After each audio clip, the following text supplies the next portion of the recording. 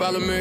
Go ahead, follow me. All she care about is a following. Following. Follow me. Shit, follow me. Go ahead and follow me. All we ever care about is a following. Hi there, Lindsay. If you are experiencing problems with your Huawei phone, your camera, you want to go into settings, you want to go to apps, you want to go to all apps. So let's go to all apps. You want to go to camera. This is actually a quick fix.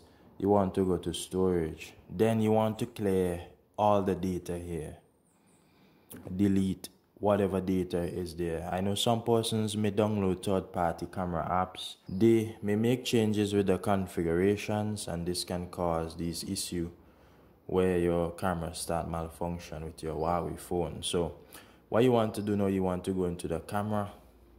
And as you can see everything should be reset and everything should be working. So basically this is how you can fix that issue. So you can notice that our camera is working. And we just took a picture there.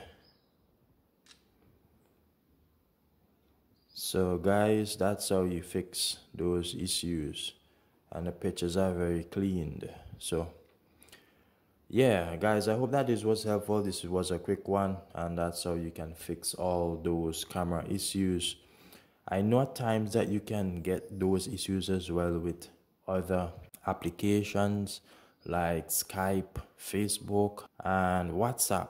What you need to do, you need to do the same thing for those apps separately. If you are encountering that your camera is not working with your WhatsApp, or if it is not working with your Facebook, but this should help. And I hope that this was helpful. Do like, share, subscribe, and all of that good stuff.